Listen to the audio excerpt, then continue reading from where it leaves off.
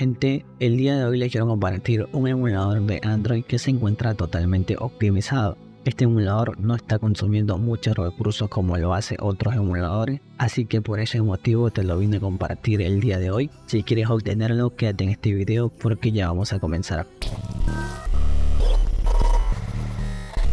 Este emulador pues no es tan nuevo, ya muchas personas lo conocen, pero no es tan popular. Así que por eso el día de hoy te lo voy a compartir bueno, yo ya lo he probado. Vamos a ver si es que este emulador ha mejorado para jugar al Free Fire en.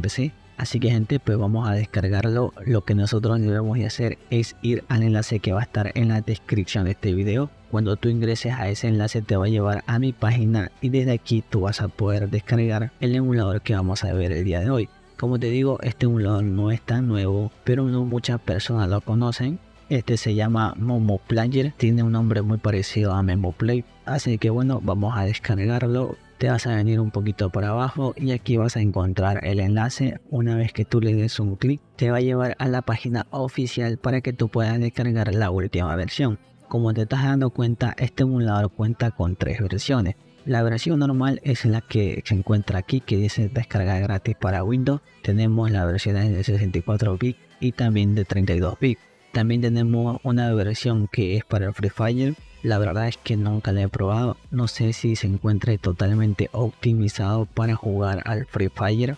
También tenemos una versión de Momo Player X que esta contiene pues el Android 10 y esta se encuentra en fase beta, aquí mismo lo dice. Tú puedes descargarte la versión que a ti más te guste. En este caso vamos a descargarnos la versión normal. Voy a descargar la que dice de 64 bits voy a guardar en este momento en el escritorio el instalador y ahora solamente debemos de esperar hasta que este proceso se termine. Si te pregunta cuál debo de descargar de estas dos versiones de 32 o 64 bits, si tú tienes Windows 10 y Windows 11 te puedes ir al botón de inicio y le puedes dar un clic derecho y entras en la parte que dice sistema para poder ver el tipo de sistema que tú tienes. En este caso yo tengo uno de 64 bits Así que por ese motivo yo me descargué la versión de 64 bits. Si tú tienes una de 32, pues te vas a tener que descargar el instalador de 32 bits. Una vez que tú ya completes la descarga, te va a dejar un archivo como este. Le vamos a dar doble clic para abrir el asistente de instalación. Te tiene que salir la siguiente ventana, como la que estás viendo ahora. Vamos a esperar hasta que nos dé el botón de instalación. Tú le puedes dar un clic en este botón de aquí y el emulador se te va a instalar.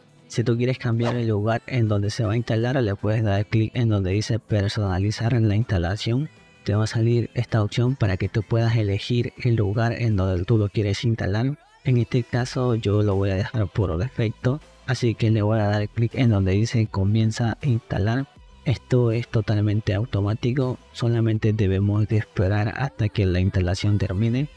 Una vez que se termine la instalación, automáticamente se va a abrir el emulador y te va a salir una ventana del firewall de Windows. Aquí tú tienes que darle en permitir acceso para que puedas tener internet dentro del emulador. Ahora nos pide iniciar sesión en la Google Play para poder descargar las aplicaciones. Si tú quieres le puedes dar clic en el botón en donde dice iniciar sesión y aquí pues obviamente vas a tener que meter tu cuenta de Google Play.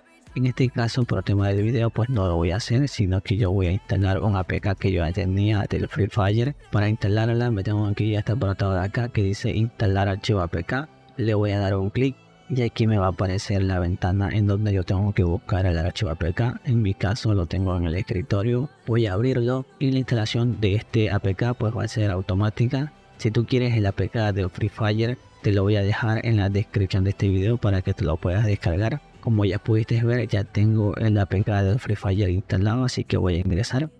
Ya aquí te voy a explicar qué plataformas podemos utilizar para poder ingresar al Free Fire. Normalmente tenemos a Facebook y también tenemos la de BK y Google.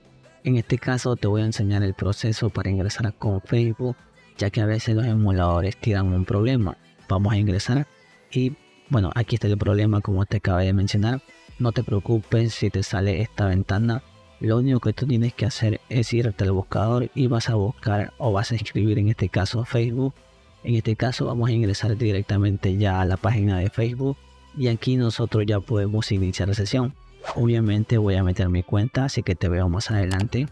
Bueno gente, como puedes ver ya acabé de meter mi cuenta de Facebook Así que bueno, vamos a darle en el botón de continuar para poder acceder a nuestra cuenta de Free Fire. Bueno gente, lo primero que debemos hacer es configurar el emulador, en este caso los controles. Los controles ya vienen configurados, en este caso ya tengo mi hub personalizado para que no me dé ningún tipo de problema. Ya tengo aquí ya mi configuración y lo que tú tienes que hacer es cambiar las teclas. Si tú quieres cambiar las teclas por tu tecla favorita, tú lo puedes hacer antes de esta opción de aquí que se llama mouse y teclado. Tú le das un clic y aquí tú vas a poder cambiar lo que sería tu tecla. En este caso yo ya tengo configurado todo el emulador. Puedo mover esto por aquí porque si no se me buguea con la granada. Y esta parte de aquí, tú con esto, tú vas a poder entrar al modo de disparo. Con decir modo de disparo quiero decir que tú con esto vas a poder utilizar tu mouse y tu teclado. En este caso yo utilizo la tecla control así que la voy a dejar por defecto. Si tú la quieres cambiar lo puedes hacer sin ningún tipo de problema. Y para guardar los cambios pues le tenemos que dar en el botón que dice guardar. Gente ya estuve testeando la sensibilidad. Este emulador tiene la sensibilidad que tiene todos los emuladores en gama baja. Tiene una sensibilidad que cuando suspende funciona sin ningún tipo de problema pero cuando ya deja de suspender ya se te complica mover la cámara. Si quieres mover hacia un lado se te va a hacer un poco duro y si quieres mover hacia el otro lado también. Esto generalmente pasa mucho cuando tú saltas, por ejemplo aquí estoy queriendo saltar y moverme hacia la izquierda y no puedo. Es que básicamente esto es un problema que tiene casi todos los emuladores de gama baja. Siéndote sincero, la sensibilidad no me gusta para nada. A mí me gusta más una sensibilidad muy fluida pero este emulador pues no la tiene. Algo que sí tienes que saber es que emulador se encuentra totalmente fluido porque hasta ahora pues no he sentido casi caídas de FPS, ni siquiera siento que vaya lagueado. En su página oficial dice que este emulador es para PC de bajo recurso. No te puedo confirmar de que sea un emulador al 100% para PC de bajo recurso porque no tengo una. Pero si tú tienes una puedes probar este emulador, quizás te funcione y si te funciona, no olvides de dejar un comentario, ya que muchas personas quizás vean tu comentario y le puedas ayudar con la información.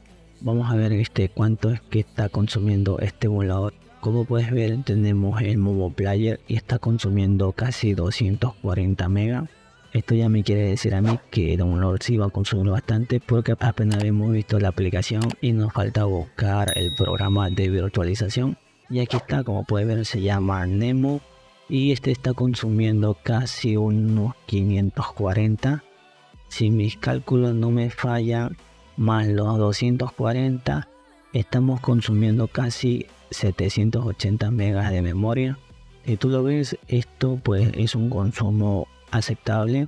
Lo pongo aceptable porque hay emuladores que me han consumido más memoria. Por ejemplo el GameLoop me llega a consumir más de un giga el de Margaga también y este emulador pues se queda en 780 megas. Si te preguntas qué emuladores consumen menos, los emuladores que yo he comprobado son LD Player y MSI y BlueStack. Son los que menos consumo hacen de memoria y prácticamente el consumo del CPU es casi lo mismo, siempre está entre un 10 a un 15%. Como te decía, este emulador no es el que menos consume ni tampoco es el que más consume, así que le podrías dar una oportunidad, pruébalo quizás te funcione o si no te invito a que pruebes los emuladores MSI y BlueStack y también el de Player que son unos emuladores que últimamente se han optimizado muy bien. Si tú quieres que te enseñe cómo configurar este emulador, que te enseñe cada parte muy bien explicada, déjamelo saber en la caja de comentarios. Si el emulador te gustó, no olvides que me puedes apoyar dejando un gran like. Si este video también te gustó, te invito a que te suscribas al canal y bien gente, yo me despido y espero verte en el siguiente video de este canal.